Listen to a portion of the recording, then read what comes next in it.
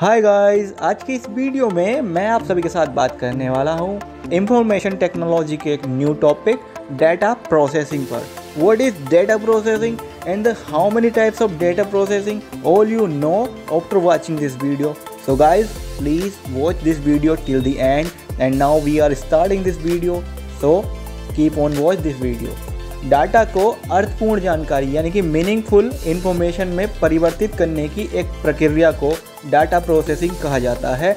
Data processing प्रणाली में data input और सूचनाएँ आउटपुट होती हैं। डेटा महत्वपूर्ण तो होते हैं, लेकिन इन्हें निर्णय लेने के लिए इस्तेमाल नहीं किया जा सकता। टाइप्स ऑफ़ डाटा प्रोसेसिंग अभी हमने क्या जाना? अगर हम किसी इन्फॉर्मेशन को मीनिंगफुल बनाते हैं तो क्या उसको किस प्रोसेस से गुजरना पड़ेगा? डाटा प्रोसेसिंग से। और डाटा प्रोसेसिंग कितने टाइप की होती है? डेटा प्रोसेसिंग तीन टाइप की होती है।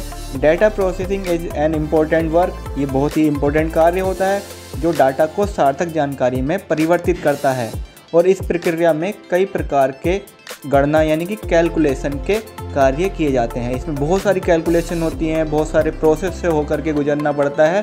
तो there are three types of data processing सबसे पहले, जो first of all we are talking about manual data processing manual से तो आप समझ ही पा रहे हैं, जिसमें हम सारा काम अपने हाथों से, यानी कि नॉर्मली मैन पावर के साथ करते हैं। Mechanical data processing and last one and the very important is electronic data processing what is manual data processing now we are starting this topic manual data processing क्या होता है? Manual data processing में सब कुछ हाथ से किया जाता है, मैनुअली किया जाता है, यानी कि मैन मैन वर्क ज़्यादा है इसमें, ह्यूमन वर्क ज़्यादा है।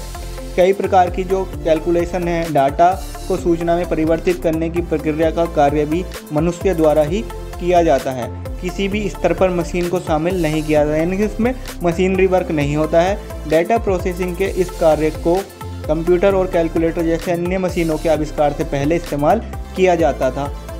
कुछ छोटे संगठनों में अब भी इस प्रकार की डेटा प्रोसेसिंग का उपयोग किया जाता है। मतलब जहाँ पर ज़्यादा बड़ा लेवल पर काम नहीं होता है, वहाँ पर तो ये सब चलता है। अब आते हैं मैकेनिकल डेटा प्रोसेसिंग अब मैकेनिकल से मतलब आप समझ जाइए, जहाँ पर मशीन्स का ज़्यादा यूज़ होता है मशीनरी का ज़्यादा यूज़ हो जाता है। यानी कि आप समझ जाइए, यांत्रिक डाटा प्रोसेसिंग में, यानी कि मैकेनिकल डाटा प्रोसेसिंग में डाटा की कैलकुलेशन और उसकी प्रोसेसिंग का जो कार्य है, वो मशीनों के द्वारा किया जाता है। मशीनरी बेस्ड होता है। यहाँ पर मशीनों के इस्तेमाल से डाटा की प्रोसेसिंग आसान हो जाती है और उसमें टाइम भी कम लगता है। और उसको जो है, त्रुटि की संभावना भी वहाँ कम रहती है, यानी कि वहाँ पर गलतियों के चांसेस भी कम रहते हैं।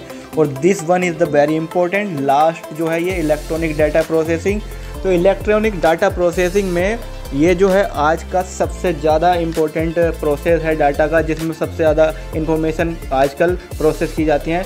तो इलेक्ट्रॉनिक डाटा प्रोसेसिंग में सभी गणना और प्रसंस्करण, यानी जो प्रोसेसिंग है, वो कंप्यूटर द्वारा किया जाता है और डेटा कंप्यूटर को दिया जाता है और उसके लिए आवश्यक रिसोर्सेज से प्रयोग से कंप्यूटर पर जो डेटा इनपुट किया जाता है, वो आवश्यक सूचनाओं में परिवर्तित हो जाती है और विभिन्न प्रकार के सॉफ्टवेयर पैकेज का प्रयोग करके डाटा प्रोसेसिंग के लिए कंप्यूटर में इस्तेमाल किया जाता है। ठीक है, आप समझ पा रहे हैं कि इलेक्ट्रॉनिक जो डाटा प्रोसेसिंग है, उसमें कंप्यूटर का सबसे ज़्यादा रोल है। वहाँ पर हम कुछ सॉफ्टवेयर ख़रीद लेते हैं। तो आइए चलते हैं, जानते हैं इलेक्ट्रॉनिक डाटा प्रोसेसिंग की इम्पोर्टेंस क्या है एडवांटेज क्या है।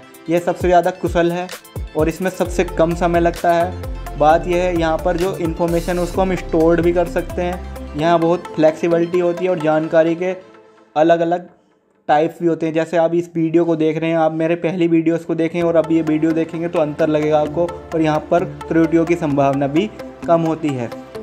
आई होप ये टॉपिक भी आपको बहुत ही दिलचस्प लगा हो, ख़ास लगा हो। अगर आपको इस टॉपिक से थोड़ी बहुत भी अच्छी अच्छी बातें समझ में आई हों तो आप इस वीडियो को लाइक कीजिए शेयर कीजिए और वीडियो शेयर करते ही आप सब्सक्राइब कर दीजिए मेरे चैनल को अगर आपने अभी तक नहीं किया है। साथ ही साथ आप हमारे चैनल को सपोर्ट कीजिए और अपनी फीडबैक हमें ज़रूर दीजिएगा और कमेंट सेक्शन में कमेंट कीजिएगा कि ये वीडियो आपको कैसी लगी। थैंक यू सो मच आप इसी तरह से बने रहिए।